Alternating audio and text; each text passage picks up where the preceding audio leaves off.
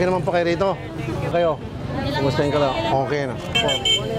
Oh. Dapat man pag nagkaregluan sa piskalya o sa judge, Idol, idol, idol, idol, idol, idol, idol, Isang lalaking matapang kalabanin ng masama Kaya saludo ako sa mga mabuti niyang gawa. Oo mapagkawang gawa kaya maraming humahanga. Siya ang kakampi mo basta ikaw ay nasa tama. Pagtulong ang nag-iisang misyon ng isang idol Sa radyo at sa telebisyon. Gusto mo bang makilala ang taong to kung sino? Walang iba kundi ang nag-iisang rapi tulpo. Sana, ma, babalik ka na.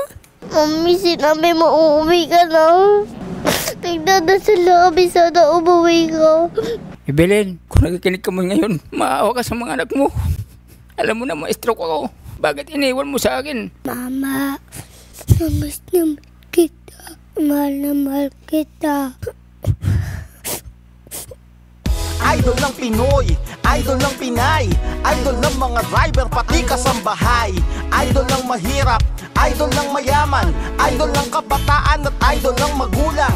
Idol ng tindera, idol ng tindero. Sa madaling sabi, idol ng mga Pilipino. Kaya ang Pilipinas lalo pang yumabong. Di kailangan na maging politiko para tumulong. Ikaw ang idol ko, idol ng mga Pilipino. Ikaw ang idol, Sir Rapi Tulpo Kaya mga kababayan mo ay saludo.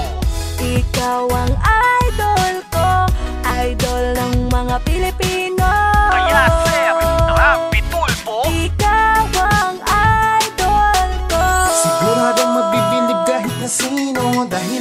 ang sarap maging Pilipino. Kaya nais ka naming pasalamatan. You're my one and only idol. Siguradong mabibilib kahit na sino. Dahilan kung ba't ang sarap maging Pilipino.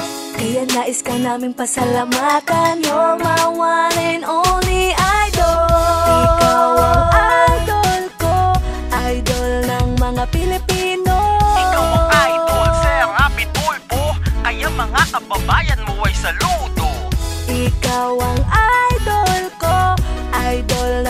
mga Pilipino. Kaya Sir Rapi Tulpo. Ikaw ang idol ko. Idol, idol, idol, idol, idol, idol, idol